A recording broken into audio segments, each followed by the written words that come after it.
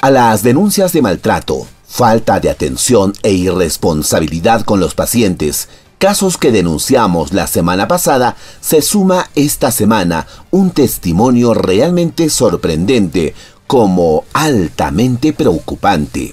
Una queja grande respecto al hospital de acá de Puno, porque en mi empresa han fallecido dos familiares de mis compañeros de trabajo. En horas de la madrugada, esto entre ayer y hoy. Ayer en la madrugada ha salido esto el hermano de mi compañera muy grave. Él estaba esto con cáncer al pulmón y no le han aceptado el ingresar al hospital. Les han regresado de nuevo a su casa. La otra tenía una enfermedad crónica ya, respiratoria, pero no COVID. Y no lo han querido atender en la madrugada.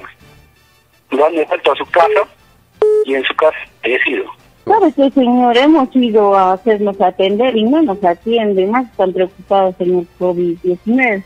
Entonces, hasta las pastillas que a mi hijo le dan durante todo un mes, le dan 90 pastillas porque él toma 6 pastillas diarias, no han llegado, no tienen nada, o sea que no atienden a la gente que va a hacerse atender. Una trabajadora del principal nosocomio regional, entre desesperada y mortificada, incluso con la voz quebrada por las lágrimas, nos contó lo que está ocurriendo en este hospital verdades irrefutables que se ocultan. Solo Dios sabe por qué soterradas razones o intereses. Señor Carlos, muy buenas tardes. Pero créanme usted, señor José Carlos, que está claro del hospital. Hay una injusticia tremenda. Lo que ayer habló el, el doctor no era nada. Hoy, mire usted cómo es el caso. Antes, eh, el mes pasado, la hija del médico de sala de operaciones, del jefe de sala de operaciones de la PASA, había sido gastroenteróloga. Llega a trabajar en medicina pasaba visita, porque estaba trabajando ahí.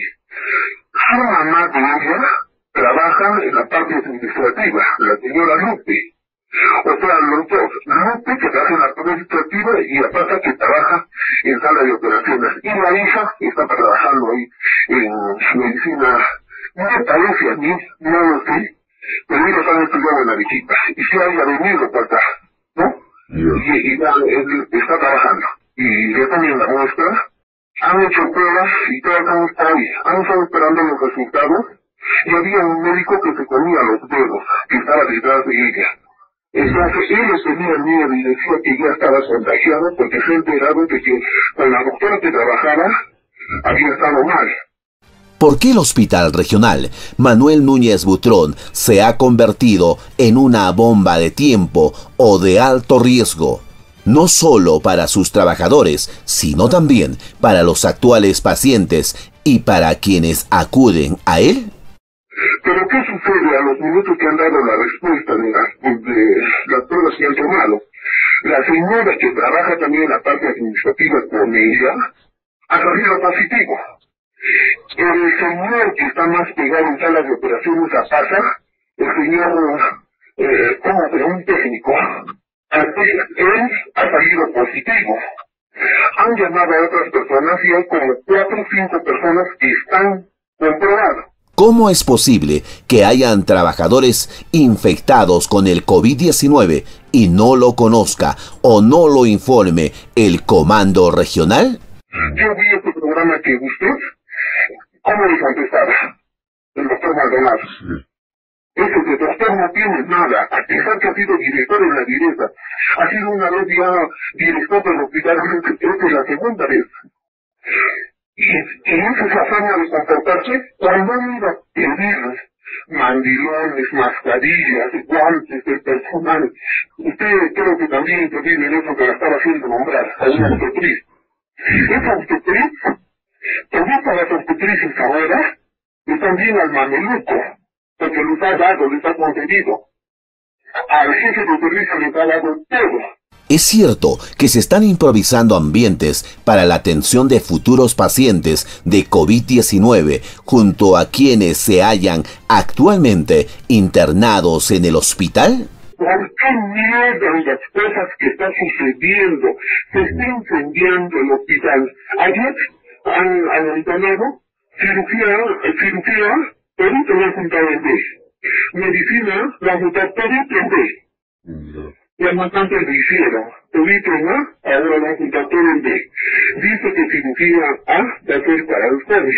Medicina A va a ser para el COVID. Entonces, ¿por qué ellos no más antes han previsto las cosas?